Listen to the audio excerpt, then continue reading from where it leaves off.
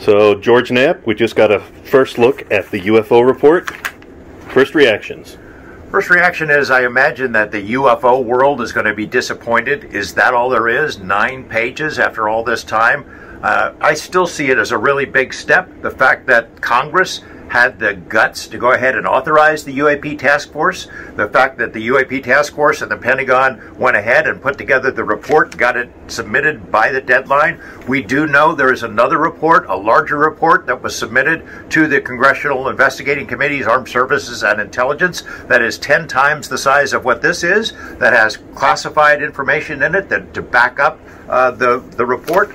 Uh, I don't know that we will ever be able to see that, but we've got hints about what might be in it.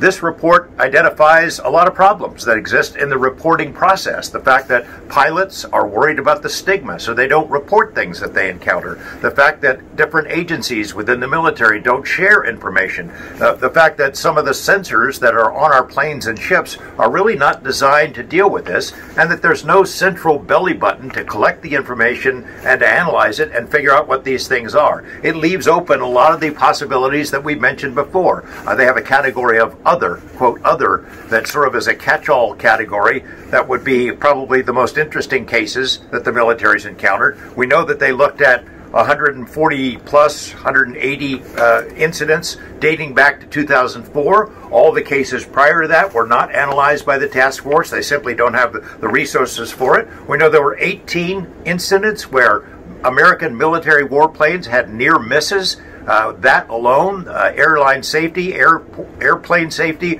would seem to justify a continuation of the study. We know that there was sort of a gentle poke in the ribs to the Air Force saying, hinting that they haven't been able to get much information out of the Air Force uh, as part of this study, but that the Air Force, as of 2020, was setting up a reporting process so they could get the information and get it into the hands of others in the Pentagon. That's a positive step. I, am greatly encouraged by this. I think it's a huge step forward for the Pentagon, for the the Congress, for media, and for the public, a step toward a greater understanding of this mystery, and there's a long way to go.